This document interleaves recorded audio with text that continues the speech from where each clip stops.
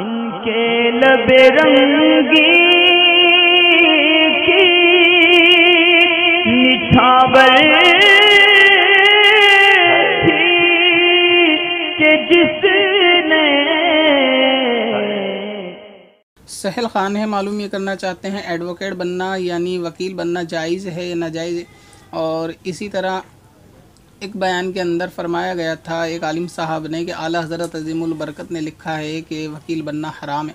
اس لیے میں نے وکالت کا پیشہ چھوڑ دیا۔ اور اس ویڈیو کلپ کی شاید وہ چیز دیکھ کر لوگوں کے اندر یہ چیز، سوالات پیدا ہوئے۔ تو یہ انہوں نے پوچھا ہے کہ وکیل بننے کے تعلق سے۔ تو دیکھیں، اعلیٰ حضرت عظیم البرکت نے فتح و رضویہ کے اندر یہ چیز کہی تو ہے کہ یہ جو پیشہ ہوتا ہے وکالت کا، یہ دور حاضر میں جس قسم سے رائج ہے، حرام ہے۔ یعنی اعلیٰ حضرت نے فرمایا، وکالت کا پیشہ دور حاضر میں جس قسم سے رائج ہے، یہ حرام ہے۔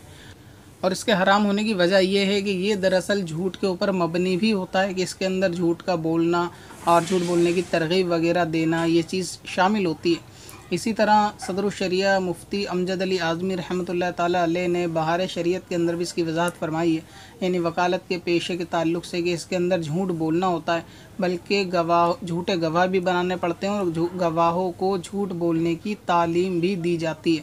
لہٰذا اگر کوئی وکالت کا پیشہ کرتا ہے اور اس کے اندر یہ سب معاملوں سے وہ بچ نہیں پائے گا، تو ظاہر سی بات ہے اس کے لیے ہر وہ کام کہ جس کے اندر جھوٹ کے اوپر ہی بنیاد اس کی رکھی گئی ہے، وہ جائز نہیں ہوگا۔ اور اگر ایسا مسئلہ ہے کہ کوئی شخص یہ کہتا ہے کہ ایڈوکیٹ کی پڑھائی کرنے کے بعد وہ جتنے بھی کیس کرے گا وہ سارے حق کے اوپر کرے گا یعنی اس میں جھوٹ شامل نہیں ہوگا، جھوٹ بولے گا نہیں اور رشوت سے بچا رہے گا دوسرے امور سے یعنی کسی مسلمان پہ بے وجہ بہتان، غیبت، چگلی تانہ زنی کرنے سے بھی محفوظ رہے گا۔ تو پھر اس کی وکالت کرنے میں کوئی حرض نہیں ہے یعنی وکیل بننا مطلقاً حرام نہیں ہے، بلکہ یہ ڈیپینڈ کرے گا آدمی کی کیفیت پہ۔ بعض معاملے ایسے بھی ہو سکتے ہیں، ایسا کہا نہیں جا سکتا کہ سارے ہی وکیل ایسی ہوں، ایسا نہیں ہوتا۔ ایماندار بھی موجود ہیں اور ہر طبقے میں ہوتے ہیں۔ جیسے پولیس والے بدنام ہوتے ہیں اپنی رشوت وغیرہ کی وجہ سے۔ تو مگر ایسا نہیں ہوتا کہ سارے ہی پولیس والے ایسے ہوتے ہیں۔ پولیس والوں میں بھی اچھے اخلاق کے مالک ہوتے ہیں اور اچھے لوگ بھی ہوتے ہیں جو ایمانداری کا ساتھ دیتے ہیں۔ ٹھیک اسی طرح اگر وکالت کی بات کری جائے تو ہر وکیل بننے والا گناہ کا، گناہ کر رہا ہے، ایسا کہا نہیں جائے گا۔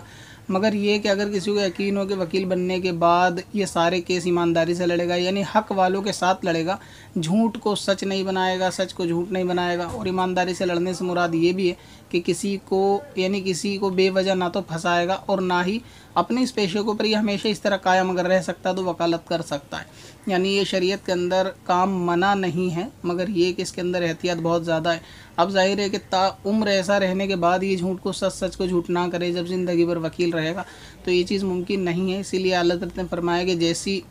وکالت ہمارے دور میں آج چلتی ہے کہ لوگ ادھر کا ادھر کرتے ہیں، جھوٹے کیس میں پھنسا بھی دیتے ہیں یا پھنسے ہوئے مجرم کو بچا بھی لیتے ہیں۔ اب اس میں لائر بننے میں بھی الگ الگ